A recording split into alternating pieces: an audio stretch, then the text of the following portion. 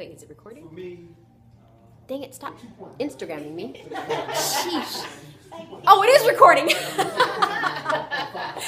hey, everybody. It's Natalie Gouché, and I'm at my favorite place in Los Angeles, All That and More Boutique. And behind me, I have the wonderful Candance.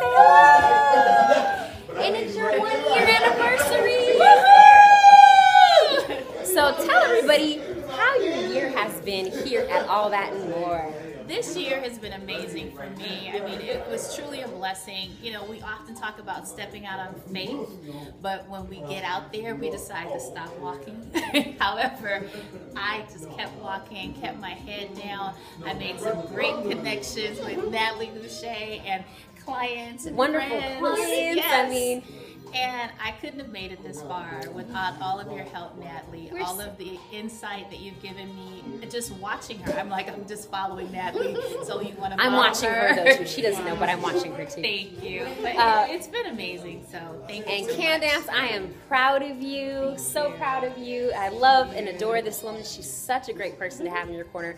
If you are in the Los Angeles area, you have to, have to, have to come to All That and More Boutique. Wouldn't you agree, Gina? I agree, totally. yes. So come on by while they're catching up. I'm going to give you a tour of the store. So let's walk around. So I am walking to All That and More Boutique, and as you can see, it's just such a great ambiance here. She always has music playing, and she has the infamous mirror where you take your sexy photo. all this great stuff.